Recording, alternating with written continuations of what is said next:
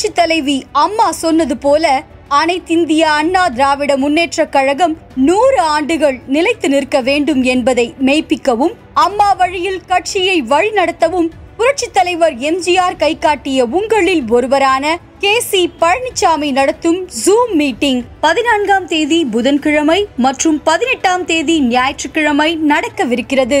அதிமுகவின் உண்மை தொண்டர்கள் இந்த ஜூம் மீட்டிங்கில் கலந்து கொண்டு பேச விரும்பினால் கீழே உள்ள டிஸ்கிரிப்ஷனில் இருக்கும் எண்ணிற்கு அழைக்கவும். அதிமுகவின் எதிர்காலத்தை கொடிபிடிக்கும் தொண்டன் முடிவெடுப்பான். அழைக்கிறார் கே சி பழனிசாமி முன்னாள் எம்பி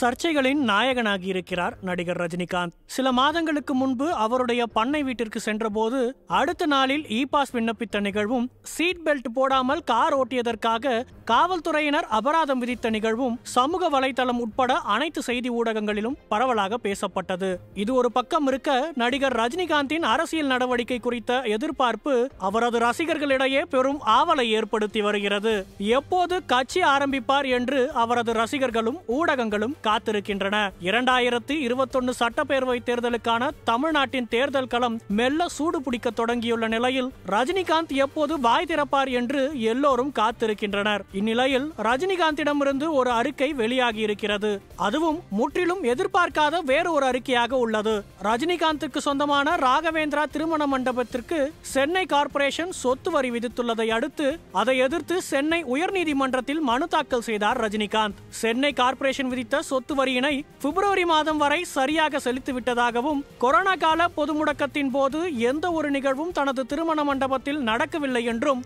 வருமானம் இல்லாத நிலையில் தனது ராகவேந்திரா திருமண மண்டபத்திற்காக சுமார் ஆறு புள்ளி ஐந்து லட்சம் ரூபாய் சொத்து வரி விதிக்கப்பட்டுள்ளதாகவும் அதை எதிர்த்து தொடர்ந்துள்ள வழக்கில் அவர் குறிப்பிட்டுள்ளார். இந்நிலையில் இந்த வழக்கு சென்னை உயர்நீதிமன்றத்தில் விசாரணைக்கு வந்தது. விதிக்கப்பட்டுள்ள சொத்து வரியை செலுத்துவதற்கு ஆறு மாத காலம் அவகாசம் விதிக்கப்பட்டுள்ள சூழலில் பத்து நாட்களில் நீதிமன்றத்தை அணுகியதன் காரணம் ஏன் என்றும் நீதிமன்றத்தின் நேரத்தை வீணடிக்காமல் இந்த வழக்கை வாபஸ் பெறாவிட்டால் அபராதத்துடன் வழக்கினை தள்ளுபடி செய்ய நேரிடும் என நீதிபதி விடுத்த கண்டனத்தையொட்டி நடிகர் ரஜினிகாந்த் தனது வழக்கை வாபஸ் பெற்றுள்ளார். இதைத் தொடர்ந்து இன்று தனது ட்விட்டர் பக்கத்தில் ராகவேந்திரா மண்டப சொத்து வரி நாம் மாநகராட்சியில் மேல்முறையீடு செய்திருக்க வேண்டும். தவறை தவிர்த்திருக்கலாம். அனுபவமே பாடம் என பதிவிட்டிருப்பது அவரது ரசிகர்களின் கவனத்தை அதன் பக்கம் திருப்பியுள்ளது. இந்த நிலையில் அந்த ட்விட்டர் பதிவில் நான் என்று சொல்லாமல் நாம் என்று சொல்லியிருப்பதன் மூலம் ரஜினிகாந்த் தனது ராகவேந்திரா மண்டபத்தை மாநகராட்சிக்கு எழுதி கொடுத்திருப்பதையும்